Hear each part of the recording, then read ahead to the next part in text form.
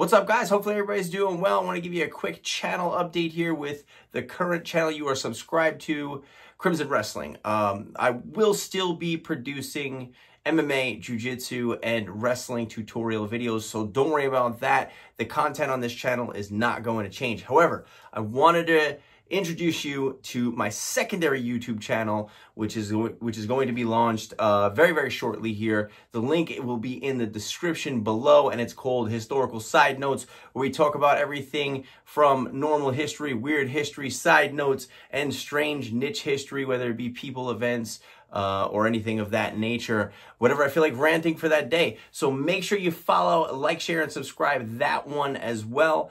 And I will see you guys on the mats.